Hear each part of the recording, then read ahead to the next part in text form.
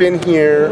This is my fifth week, and I think I've read seven books, but one of them I read two and a half times because it was the only book I had when I came in. It took a while for me to get anything else. This is Joe Halderman, the CBS News producer who was arrested and indicted last fall for trying to extort $2 million from David Letterman. What book was it? It was uh, The Girl Who Played with Fire by Stieg Larsson. I read it two and a half times until I got another book.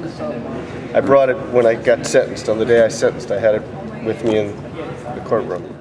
Now, Mr. Halderman loves to read, and you might think that his recent sentencing to six months in Rikers Island, after pleading guilty to second degree grand larceny, might cut into his access to books. But as it happened, as part of his mandatory work detail at Rikers, he got assigned to librarian duties at the makeshift branch that the New York Public Library runs at the jail.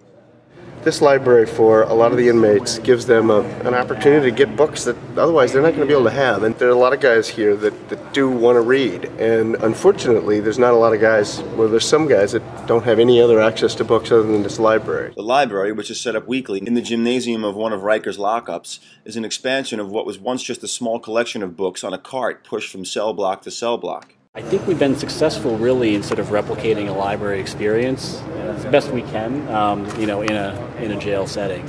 And they're allowed to take a book and a magazine, and then uh, just works as a regular library. Next week we come in and we exchange the book with the guys, talk about what they like to read, um, try to get them books that they want. What is the most popular book? Uh, right now, the autobiography of Malcolm X is probably the most popular book, um, and we burn through paperback dictionaries, which we can never have, have enough of those.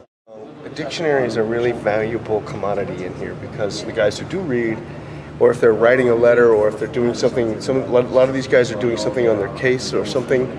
Like a guy came to me the other day and wanted to know the definition of concurrent. I mean, you know, you'd think they'd know what concurrent Yeah, is, but, but, but, but, so you know, having a dictionary is valuable. So I've have been, I mean, basically, I think because I'm old, uh, I get asked a lot of questions. So you're sitting there reading and you know, it's sort of a constant interruption. There's a lot of downtime in here, and uh, so the opportunity for these guys to get books that uh, they want to read that helps them, you know, pass the time and stay out of trouble is a good thing.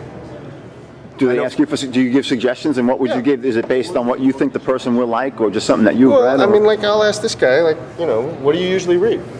Me, um, I like, I don't, you know, I've, I've done a lot of time up, over the years, so it, I, don't, I like, I don't really go towards the sci-fi stuff.